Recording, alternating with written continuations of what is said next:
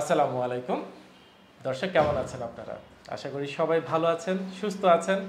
আমাদের সুস্থ আর কারখানা থেকে যখন একের পর এক রুগী আসেন এবং তারা সুস্থ হয়ে চলে যান এবং যাওয়ার সময় যখন তারা তাদের অভিজ্ঞতাগুলো আপনাদের সামনে তুলে ধরেন, সেটা শোনার পর আমাদের কাছে অনেক ভালো লাগে যে অ্যাটলিস্ট একটা আত্মতৃপ্তি কাজ করে যে মানুষগুলো অন্তত কিছুটা হলেও তো সুস্থ হয়েছে, স্বাভাবিক জীবনে তো ফিরে যেতে পারছে। অসুস্থ হয়ে দিনের পর দিন মৃত্যু যন্ত্রণাটা তারা যে তার ভোগ করতে না হয়। কারণ যখন মানুষের ব্যথা শুরু হয়, সেই ব্যথা বা কষ্ট দুর্ভোগ একদম চরম সীমায় পৌঁছে যায়। দর্শক, আমার পাশে যে ভদ্রলোককে দেখতে পাচ্ছেন, উনি ডিপিআরসি হসপিটালে এসেছিলেন। মূলত ওনার সমস্যাটা ছিল এভিয়ান। এই এভিয়ান সম্পর্কে আপনারা অনেকেই জানেন এবং এই এভিয়ান নিয়ে আমাদের বেশ কিছু ভিডিও আছে এর আগে। দর্শক, আলহামদুলিল্লাহ উনি আগামীকালকে আমাদের হসপিটাল ছেড়ে চলে যাবেন। বাট আজকে ওনাকে আমরা নিয়ে এসেছি। ওনার এই যে ভর্তি ছিলেন আমাদের এই হসপিটালে টোটাল চিকিৎসা এবং ওনার যে অভিজ্ঞতাটা হয়েছে এবং সর্বোপরি আজকে উনি কেমন আছেন পুরো বিষয়টাকে আমি একটু ওনার কাছ থেকে জানার চেষ্টা করব। আসুন দর্শক একটু কথা বলি। আসসালামু আলাইকুম। ওয়ালাইকুম আসসালাম। স্যার দর্শকদের জন্য আবার যদি একটু নামটা বলেন আপনার। আমার নাম দয়াল বর্মন আমি সাহাবার থেকে এসেছি ডিবিআরসিতে।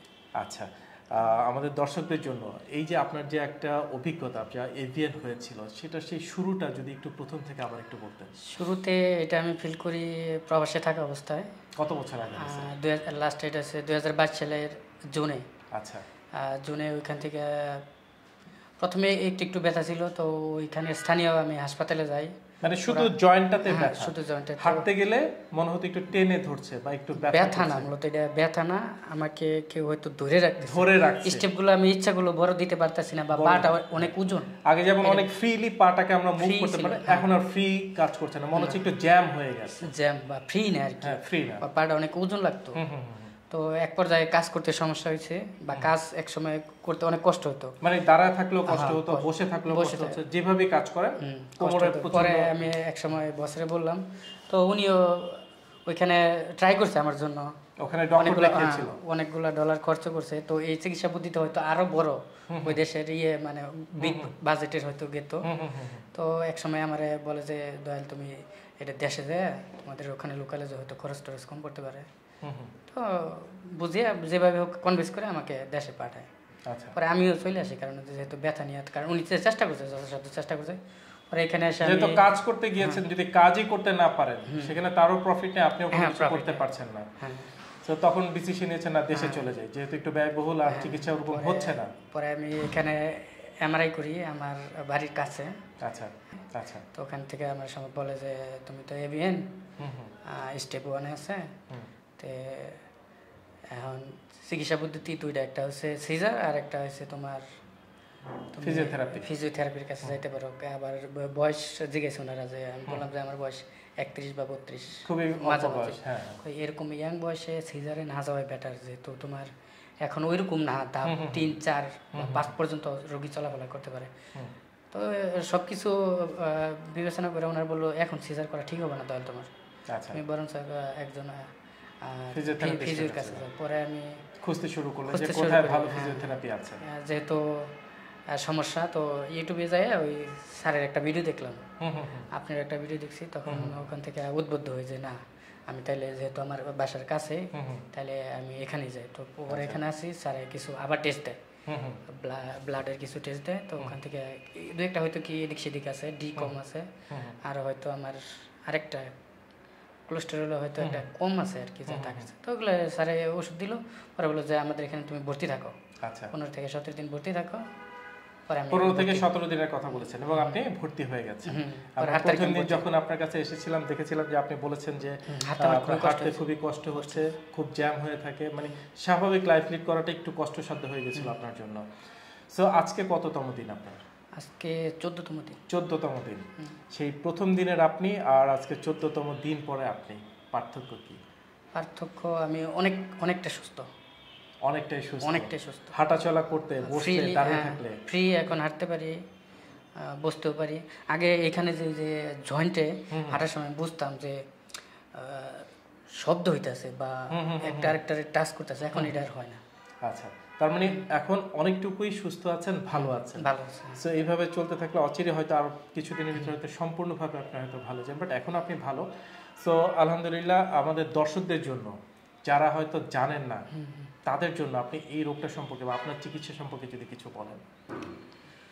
মূলত আমার ব্যথা প্রথমে শুরু হয়েছিল মাসেলে। তো আমি এক সময় ফিল করি হয়তো এটা হয়তো কিছু পেন কিলার খাইলে হয়তো চলে যাব। জাস্ট এই মাসেলে কিন্তু এক মাস পরে তখন মাসেলের ব্যথাটা নাই ব্যথাটা একদমই নাই। কিন্তু এই জয়েন্টে আমি ফিল করি যে জয়েন্টে কোনো কিছু টাচ করে বা বাজা বাজা এরকম লাগে। তো তারপরে দুই মাস তিন মাস ওই জিনিসটা আস্তে আস্তে আমার স্টেপগুলো আস্তে আস্তে ছোটো হয়ে গেল।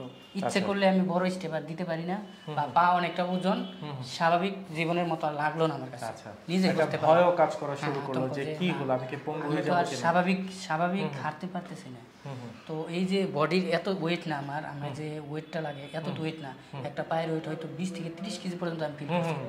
তখন আমার অনেক আমি ভয় পাই যাই বা না আমার এই সময় ভালো একটা চিকিৎসা নেওয়া দরকার। পরে যার কারণে আমি দেশে চলে আসি। তারপরে সার্জারির কথা বলল আপনাকে? সার্জারি কথা বলছে। আবার ওনারাই বলল যে সাজেস্ট করছে না। তোমার এই বয়সে সার্জারি করা ঠিক হবে সেটাই। পঞ্চাশ পঞ্চান্ন উঠতে গেলে তখন আমরা হয়তো সার্জারি করে দিতাম। আর সার্জারির পরে তোমার আগের মতো লাইফ স্টাইল করতে পারব। অনেক পরিবর্তন আনতে হইব সার্জারি বাট এখন কি মনে হচ্ছে যে আপনার এই ডিসিশনটা ওনারাও আপনাকে যে ডিসিশন দিয়েছেন এই ডিসিশনটা আসলে সঠিক ছিল? এখন পর্যন্ত তাই কি মনে হচ্ছে? আমি যতটুকু উপলব্ধি করতে পারলাম হ্যাঁ সঠিক। আলহামদুলিল্লাহ। দর্শক শুনলেন আমার এই ভাইয়ের কথা। এভিয়ান আমরা অনেকেই ভয় পেয়ে যাই।